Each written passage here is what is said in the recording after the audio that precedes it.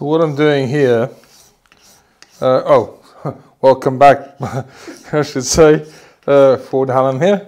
Uh, most of you probably already know that. Um, I'm preparing a piece of water buffalo horn uh, for a, really rather lovely uh, restoration job I've got to do, which I shall show you in a moment.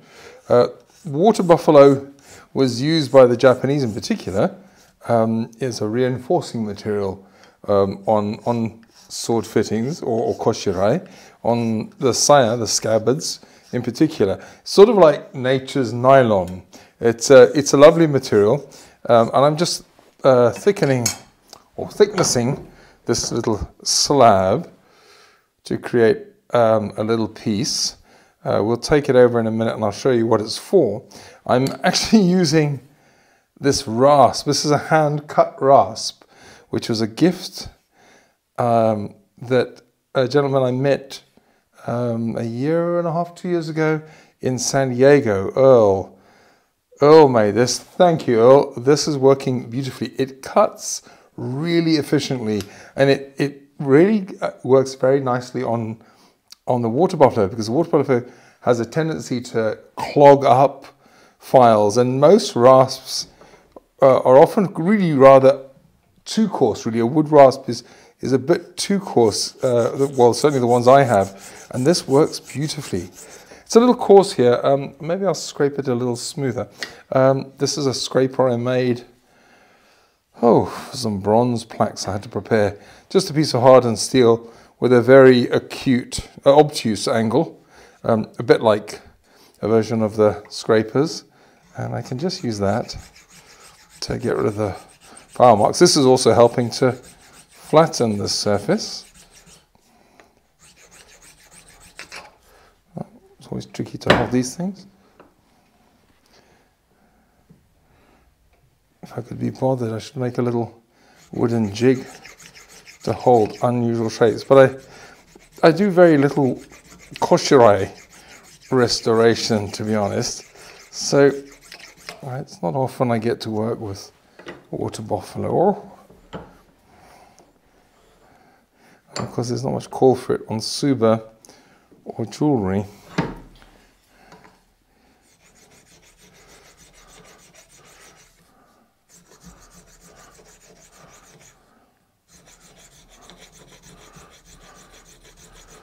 So I just want the piece at a reasonable thickness close to what I will need finally. Um, and I'll show you in a moment what this is for. I think that will do for now. But you can see it scrapes quite well also. I think that was a water buffalo horn. Quite odd. It polishes lovely also. As well, also. lovely. lovely. Yeah. Okay, I think that will do. Um, one of the advantages of finishing something before you start doing your fine work is that you can see any minor flaws. So these are little fissures in the material, which is quite natural. It's a natural material. Um, so when I cut out the piece I'm going to use, I want to avoid these flaws. Right, here I am. Uh, this is the koshirae I mentioned that the buffalo horn is for. Uh, we'll get to that in a moment. It really is something rather special. But before we do, I, I thought we'd best uh, show you where we are with the uh, uh, that we did a little while ago. Um, you remember me taking this apart, a bit like an ancient Egyptian mummy. So here we have the hilt in its present condition. I'm going to take off the fushikashira to better show you the iron restoration. Oh, I can't do that until I take these eyelets out. There we go.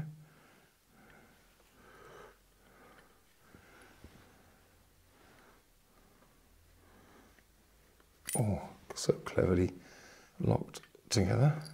Right, so here you have it, all cleaned up. So what I did was I removed all of the loose rust stabilize the nunome, the, the gold overlay, redeveloped the patina where it had been lost, neutralized it, and then wiped on some raw lacquer and baked it to cure the lacquer. I did that on the inside also, so the inside of the of the iron is also now sealed. Hopefully this will be be stable for the next 150 years or perhaps longer even. Um, but at least we now know, or this has been documented, um, and it's now ready for the next phase of its restoration. The Shibuichi fittings, um, I really didn't want to lose the original or the appearance as they are now. I didn't want to be getting into certainly not repolishing and repatinating. Um, they're in relatively good condition. Um, so I was able to, just with very careful cleaning, remove pretty much most of the surface grime. There's some really rather interesting grain visible. Um, and I don't know if this is visible in this shot. We'll try again a, a closer up uh, later. But there, you can see distortion in the metal, in the grain structure, which reflects how the piece of metal from the flat was pushed into a die to shape it. Um, we'll try and capture that in a, in a better close-up in a minute. And the eyelets, the little shitodome, are shakudo and they've cleaned up lovely. Now, because I can't help myself, you'll remember the little pieces of packing paper, the hishigami, that were covering the entire side. I noticed that some of them had writing on them, so I had to find out. So I soaked one and unraveled it. So this is one of the hishigami that I carefully unraveled. It was really quite quite remarkable. But of course, the paper has long fibers, so it's quite strong, even though it's very thin and delicate. Uh, so it un unfolded quite easily, and remarkably, amazingly, the the pieces are, are bare writing, and it's really lovely. Look how delicate that letter is. Tiny little brush the writer must have used. Excuse me. Um, I wish I could do such delicate calligraphy. Um, I almost want to say if anybody's keen, I could send them all the pieces and I can unravel them all, put them all together, and we could find out what he, he wrote. There's probably a shopping list, or mm. complaining about the client, or some rude commentary about somebody who annoyed him, wrapped up in their sword. Huh, that would have been a nice uh, revenge for the hilt wrapper. Uh, damn samurai coming in here, thinking like they own the place. Um, but yeah, there it is recycled writing paper used in the wrapping of the hilt. So a little bit of a mystery yet to be unwrapped, unraveled. There it is. And uh, is our restored iron hilt. You can see, obviously, there's corrosion, nothing to be done about that, but it's all stable now and the gold's all. I didn't suffer any gold loss on working in it, uh, stabilizing it, um, and uh, I think it'll look quite handsome once it was rewrapped. They're not perfect, but I, I think at this point, frankly, to repolish them and refinish them would be to lose some of, of the piece's inherent history. And they don't look unattractive. And that's the most important point. They look you know, appropriately aged. They're in pretty good condition. Um, they're bearing the marks of their age. And uh, similarly, the, the fushi, it's not an unattractive finish. Um, I've cleaned them as, as thoroughly as I can without damaging the existing patina and then they've been re-waxed with microcrystalline wax. Um, managed to keep the packing paper that was in there untouched. Similarly, the pitch and the bit of wood shim that's in there to hold it on the handle is still in situ. So it's had the least amount of um, interference. And there it is. Next time you see that, that will be restored fully. So here it is. This is in fact a little bit of a, an ensemble um, situation. The saya, the scabbard, uh, and hilt, and habaki, of course, uh, have a blade, apparently a very good blade. I don't have the blade here, it's in Australia. Um, judging from the, the quality of the fittings, and what I've been told, in fact, the blade's a really rather good one. It's a, a Koto blade, if memory serves, which means it was made before 1600. But the reason, I, one of the reasons I really want to talk about this piece and show you everything is that it's a really, really beautiful piece of work, in, and it, and it exemplifies so much of the, the aesthetic and the beauty and the craftsmanship that then becomes art um, that really good swords are all about. So this is a lacquered scabbard. Um, it's not just polished black lacquer, and that isn't wood grain. It's actually carved to look like wood grain. And it really is lovely.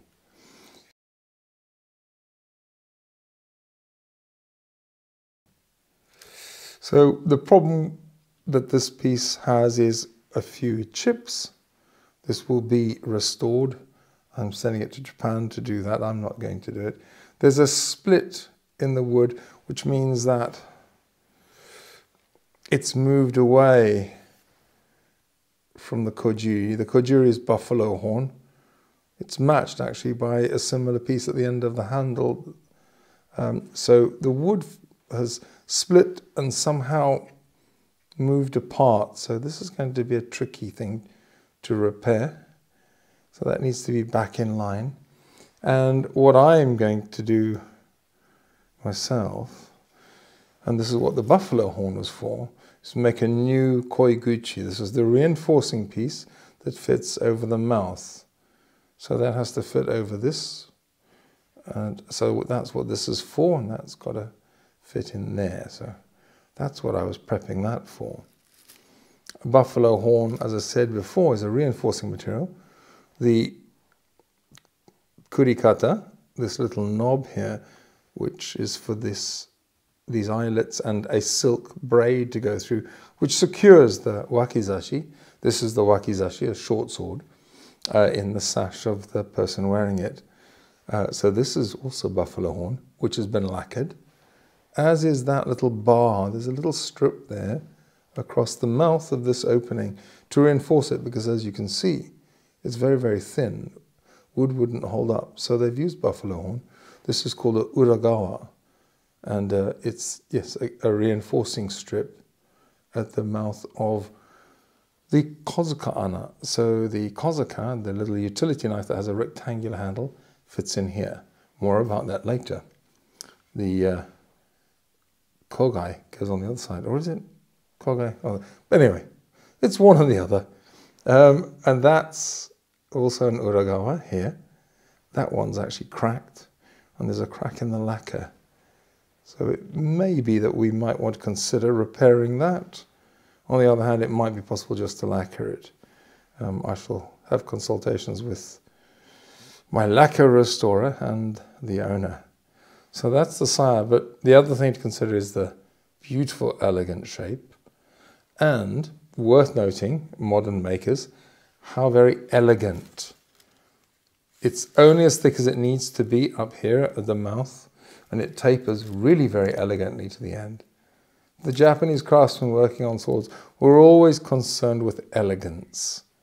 I think that word is, is the overriding consideration with koshirae. Um, you have to remember these these items represented the pinnacle of their, their public display and their status. Um, so these things really, really mattered. So what else do I have to do? I have a tsuba that has to join the ensemble. This tsuba isn't original to this set. It was sourced by the the owner to finish up the set. Uh, the Mitokoro Mono, which I'll come to in a moment, uh, feature a similar crest. This is the Paulownia crest. Uh, it's the imperial family crest. Um, so there must be some associations for them to, who, you know, whoever wore this or commissioned it, to, to have been allowed to use it. The copper sekigane is a new fitting. I don't know who did that. Um, I'll be honest, I'm a little annoyed because it's a little loose at the top uh, compared to the original Seppa. So whereas this will fit tightly on the blade, this wobbles a little bit and I can't do anything about that. The next thing I'd like to talk about is the habaki. Uh, this is a Niju Kinkise habaki, which is a fancy way of saying in Japanese a two-piece gold foil wrapped habaki. So it's two pieces, it comes apart like so. I don't honestly think there's any real practical reason for it being in two pieces. I, I think that it's just a matter of Japanese habaki makers going, that'd be fancy. And they like Japanese metal workers, uh, Japanese craftsmen, it seems, like nothing more than just doing the fancy because they can. And goodness me, they really do it so very well and delightfully. You can see the gold foil wrapped over the edges. It's, it's significant thickness. It's not like gold leaf. Um, it's generally about the thickness of um, airmail paper. Um, I think the gold foil I have that I can do similar work with is about 0.2 of a millimeter. So it's, it's in, in, in terms of, of wear resistance, it's, it's pretty robust. Uh, and it's got a little yasurime or um, ame, ame yasuri, rain file marks with little dots, which is really rather lovely. It's a bit mucky. I might have to give it a little bit of a clean. Let's put it back together. And the, what I've got to do with this is I've got to repair that tear. I actually have the piece of gold that's torn off. I am not entirely sure how it needs to be put back because it's not soldered in place. Um, I have a few ideas involving black magic and alchemy, um, but I'll let you know how I get on. But it's a particularly beautiful piece, really lovely finish. And again, that, that word elegance is appropriate. There's a, a, a slight orange blush on the surface. So this is referred to as kinsabi, gold rust. Um, some people get very bent out of shape at the idea of gold rust because, of course, gold doesn't rust. But gold, of course, is very rarely used in its pure state. It invariably uh, contains a little bit of silver and gold, um, silver and copper. And um, so the alloy, the base alloy here, judging from where it's worn, isn't 24 karat gold at all. It's probably closer to 20 or even 18 karat. The bulk of that being silver um, there being a little bit of uh, copper in there. And typically what Japanese craftsmen did with habaki, and then it's quite common today also, is a process called depletion gilding. So using various salts, uh, which can be made into a paste, they're packed onto the surface and heated, uh, which then oxidize the copper and silver and leach them out of the surface, leaving a gold rich surface.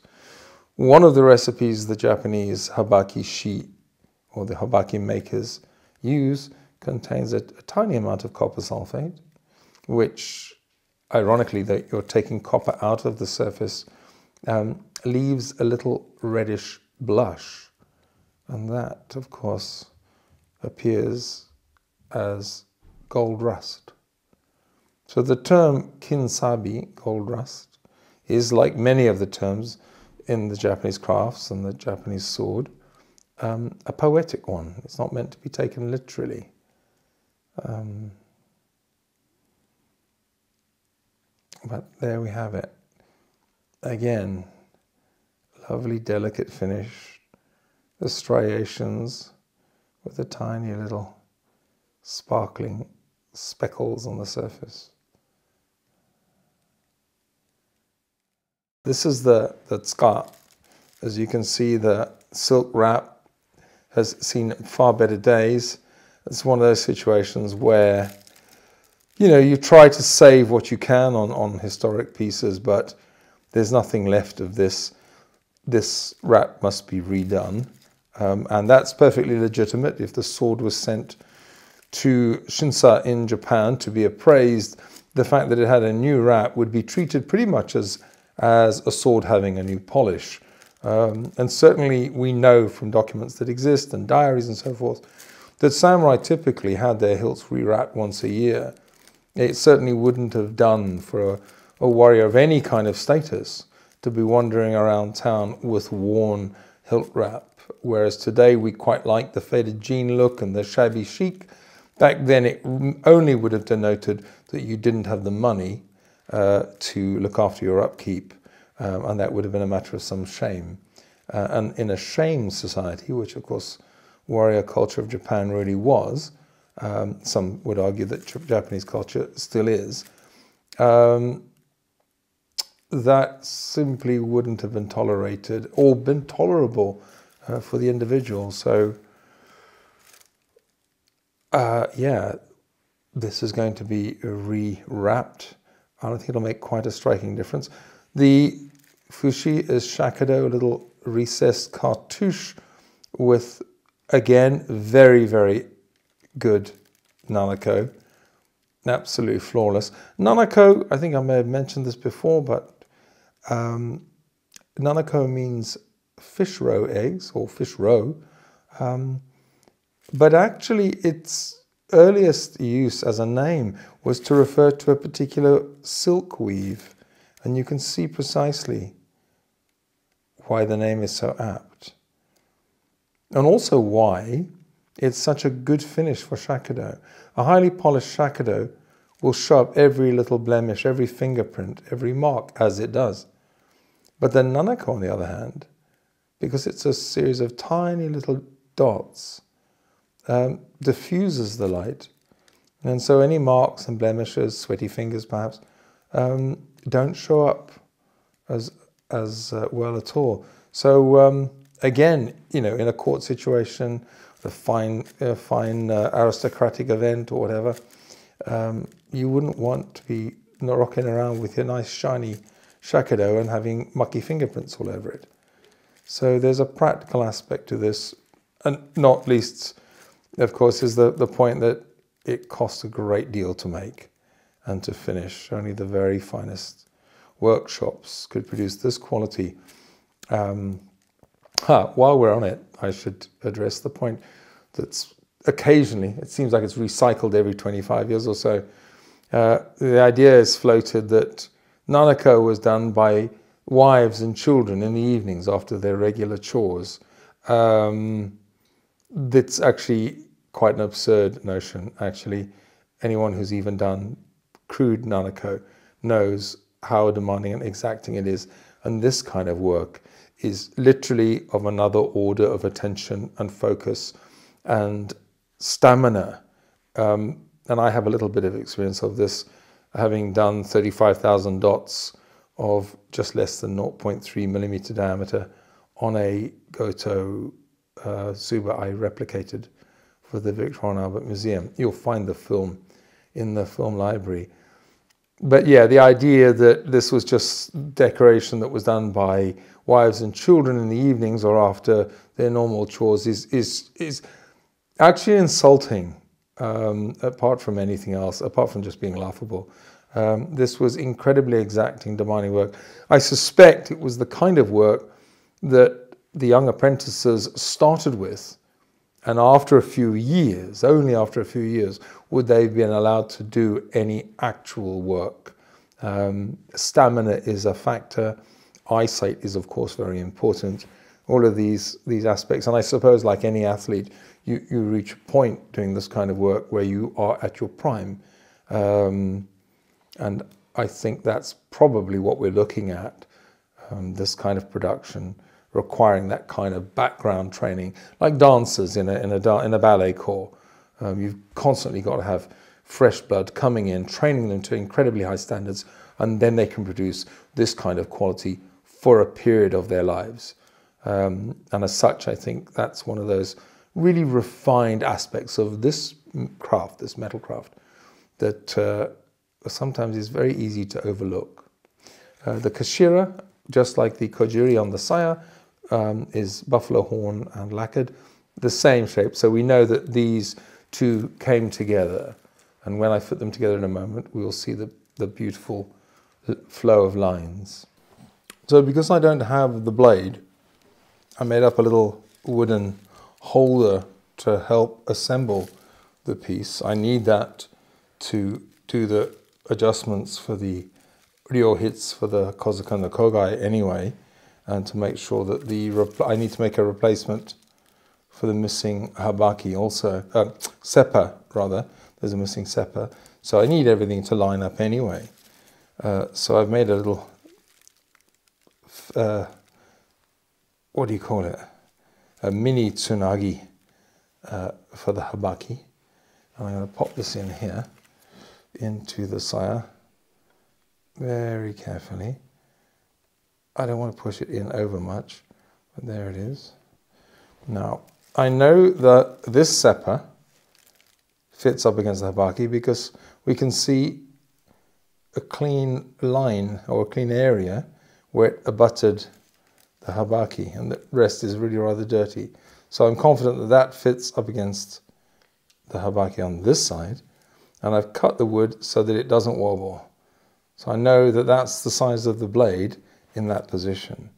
And you can see here where the buffalo horn replacement needs to be made.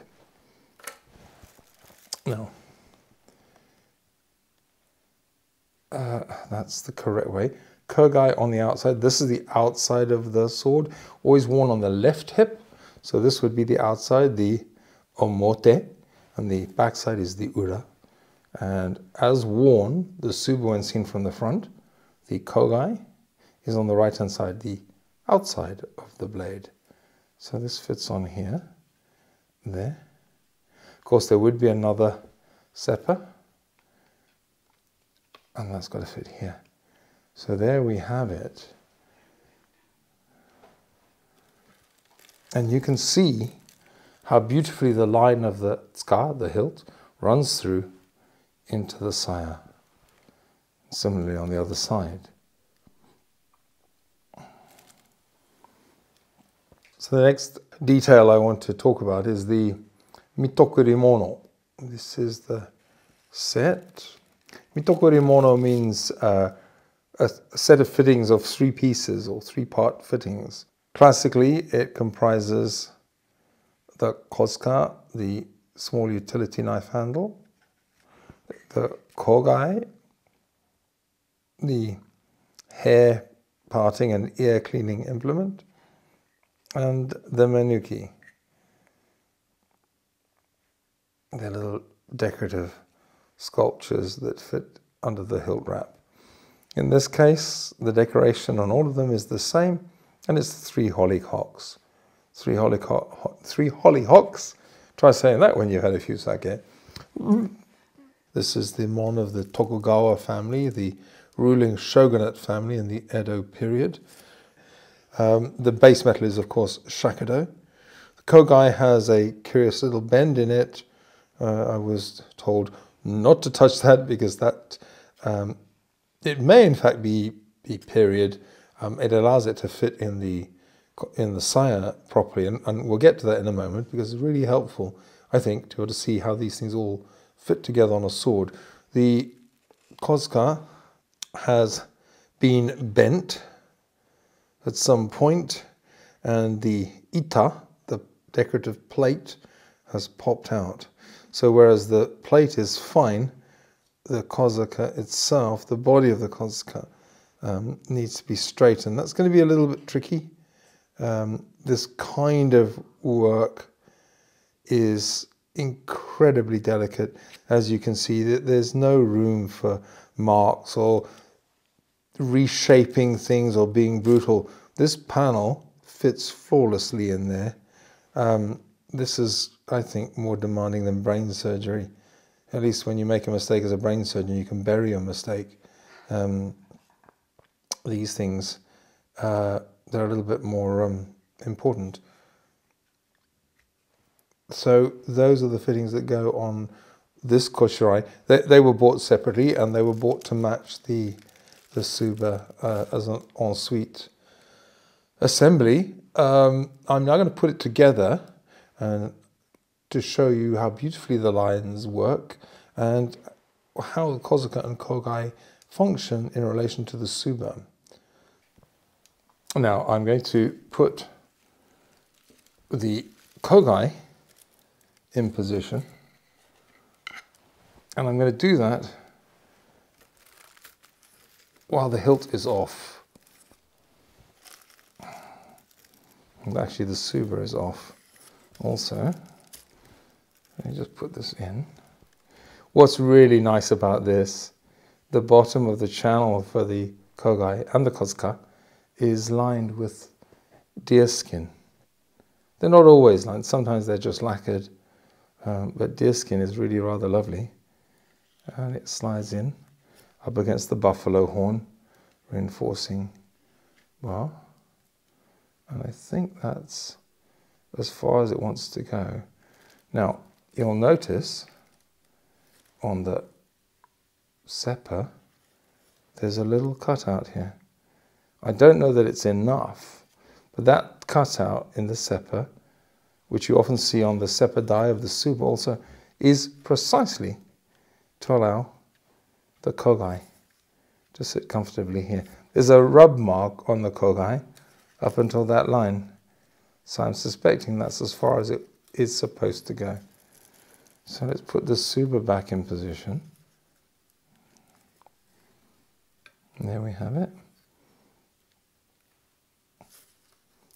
It's just touching on the Tsuba. Not, I'm not happy with that. So I'm going to have to speak to my client and talk about making some adjustment there. And we'll put the handle back in place. And so that is how the kogai functions on the sword. Now I haven't pushed the habaki all the way in, so some adjustment needs to be made to accommodate this properly.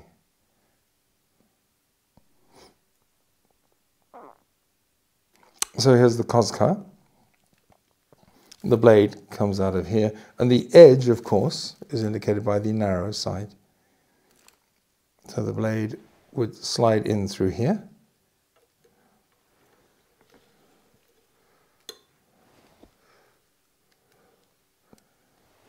Into that position just the tip sticking out. So that's how the Kozuka would sit. Now again, I feel that a little bit of adjustment is necessary where the habaki is. But before I move on, I want to hold this very carefully and illustrate the line of the Kozuka and the Kogai in relation to the Tsuba. Right, because I haven't made the replacement um, koiguchi, the water buffalo horn piece to, to reinforce the mouth here, there's a lot of space here, and we can see, quite conveniently actually, how the kozuka and the kogai come out at an angle. Now, of course, that angle is dictated by the thickness of the saya, the length of the blade of the kozuka, and of course, in the case of the kogai, as we saw, that's actually given a bend to go in because it can't just keep going straight. It would eventually cut into the, uh, into the blade of the sword. So there's quite a lot of careful um, adjustment required to get these implements to fit, to get them to run nice and true.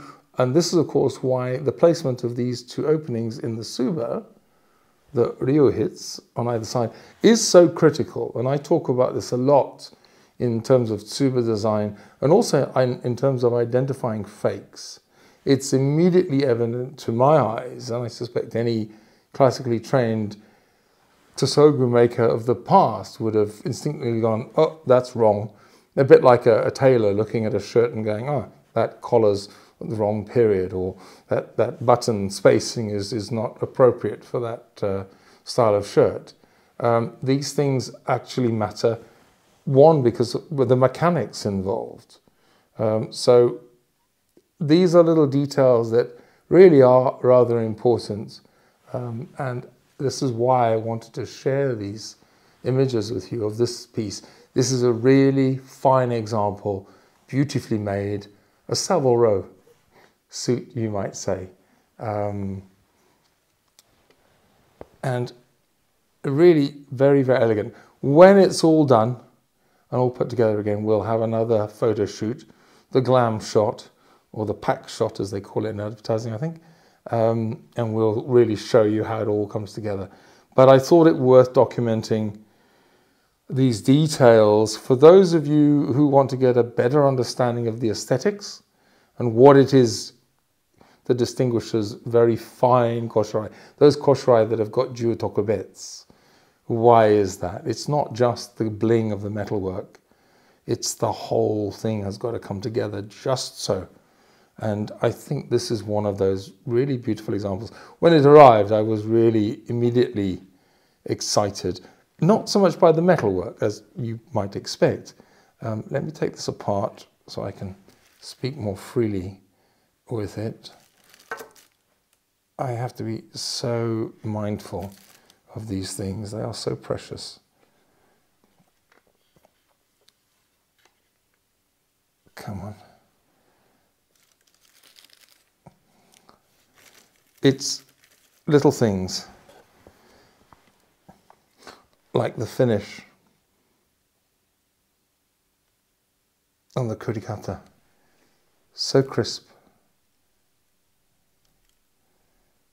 those little eyelets, they're not gilt, they're solid gold. Not pure gold, they're, they're an alloy, but they're solid gold.